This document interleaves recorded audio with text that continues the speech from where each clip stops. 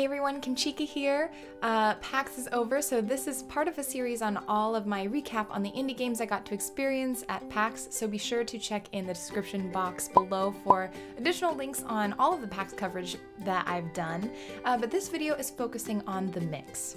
The Mix is hands down one of my favorite events of PAX West and of most game conventions. They actually attend quite a few uh, around the world, even. And what I love about this event in particular is that you can enjoy games that are both on the PAX show floor as well as games that aren't featured on the PAX show floor. And the quality for all of these games is just outstanding.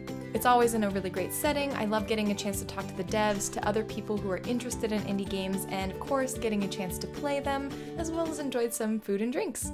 Of course, you're not here to listen to me reminisce about the event itself, you're here to find the hidden gem indie games that I've discovered along the way. So, of course, we've talked about titles that were at the mix, like Boyfriend Dungeon, uh, Joggernauts, and The World Next Door, which are all wonderful games and featured in other PAX videos, but I wanted to highlight five titles that you may not have heard about in other publications publications or may have heard just a little bit about and that I think deserve some extra love. So here we go into the top five hidden, hidden gem indie games that I saw at the Mix 2018.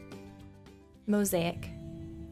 Developed by Krillbite Studios, the team that brought you Among the Sleep, another outstanding indie game, Mosaic is another beautifully done game that will make you stop and think about how you live your life.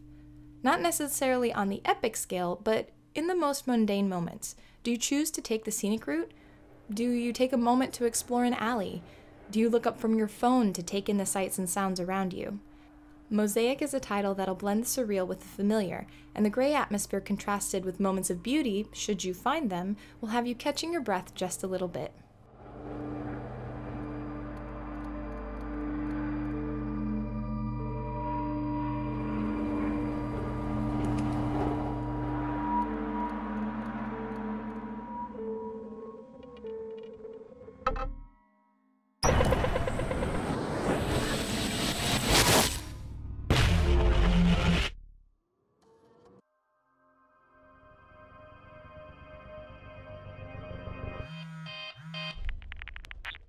Black Future 88.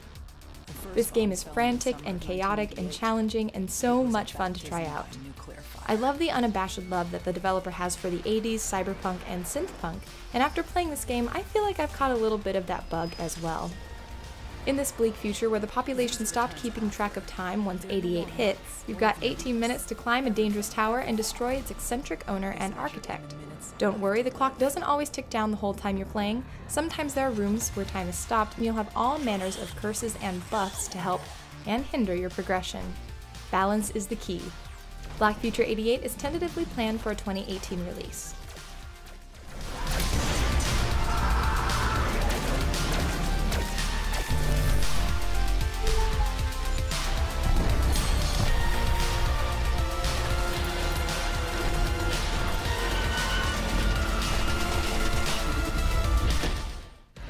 Dark. Fun fact at the mix, there's always a ballot providing the audience and a team of selected industry judges with the opportunity to select their favorite game of the night, and Darq was the winner of Best of the Mix at PAX West 2018. This unique art style of this title is hard to forget, but even more interesting is the slow build that the developer takes when tackling the concept of horror and lucid dreaming. While there's the occasional jump scare, the scary part about this game is the potential for things to happen, the tension, that psychological element. Lloyd is a young boy who realizes he's trapped within a dream, well, more accurately, trapped within a nightmare. You must use stealth and puzzle solving skills to avoid being caught by the monsters of your mind, which you have no chance of beating, by the way, so don't even try.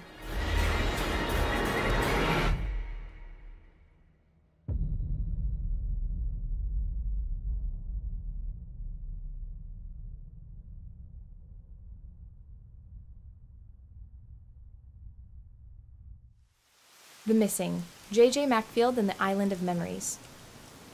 Not a whole lot of detail is being shared about The Missing, but this is a game that immediately caught my eye and I can't wait to play more.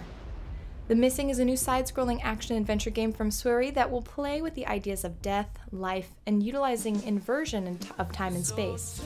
It's going to be gruesome, but it'll also have some deeper concepts for you to consider. When asked about the story, Swery says it alludes to a missing person, someone who's lost, or even something lost. Perhaps it's your loved one or a place you belong. but if you ever feel lost in your everyday life, The Missing is for someone like you. Fortunately, we don't have to wait long to get a copy of The Missing in our possession because it's coming out in 2018.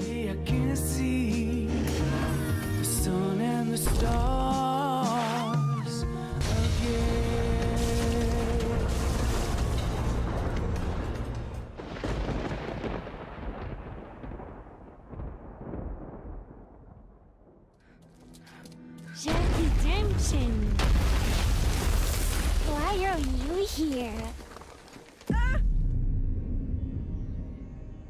Gravastar. This title was a total surprise to me and one of my favorite surprise finds of PAX West. Gravastar is a sci fi fantasy RPG that draws from fighting games to create a more modern experience. You play as Baird, a young orphan who discovers he has a much greater role to play in saving the world using the power of stars. I appreciated the balance that Studio Atma was able to bring to the game, in particular, drawing from and including classic JRPG tropes and nostalgic Easter eggs, while also switching up just enough that this experience still felt new. Battles work more like fighting game rounds where you battle using button combos in a turn-based fashion. The visuals are bright and fun to look at, the soundtrack is already sounding quite epic, and I can't wait to see more. Sign up on their website for more info as the release date and platforms are currently not yet announced.